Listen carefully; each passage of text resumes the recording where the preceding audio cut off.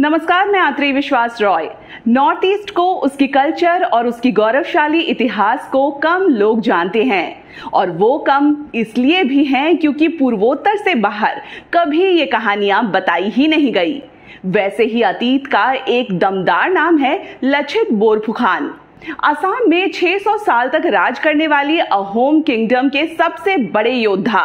उनकी वीरता की कहानी अगर आप सुन ले तो शायद आपके दिमाग में जो सुपर हीरोज की तस्वीरें हैं, उसमें लचित ऐड हो जाएँगे। मैंने अहोम के इस जनरल लचित की कहानी पर एक वीडियो पहले भी बनाई थी, जिसे आप देखेंगे तो जानेंगे कि ये कहानी क्यों देश को बतानी ज़रूरी है। पर अब ये मुमकिन होता दिखाई दे रहा है। भारतीय फ़िल्म जगत को आरआरआर और बाहुबली जैसी ब्लॉकबस्टर पीरियड फ़िल्म देने वाले राइटर अब ब्रह्मपुत्र के बेटे की कहानी देश को बताने जा रहे हैं।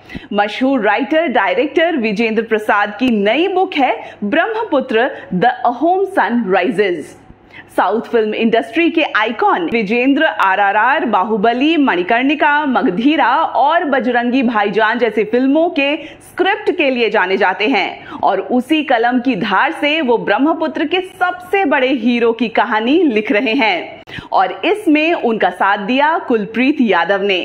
कोस्ट गार्ड से रिटायर्ड कुलप्रीत मिलिट्री और नेवी पर बहुत बुक्स लिख चुके हैं।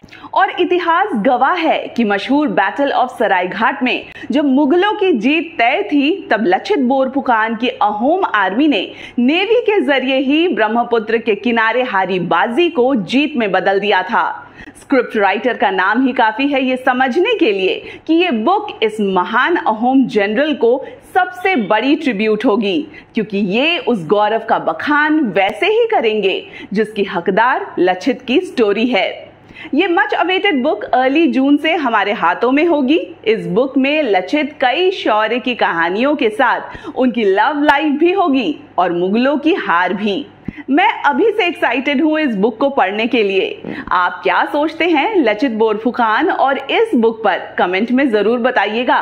और ऐसे ही इंफॉर्मेटिव कंटेंट के लिए चैनल को सब्सक्राइब कर हमारे साथ बने रहिएगा और इस लिंक में उनकी पूरी कहानी भी देखिएगा। नमस्कार।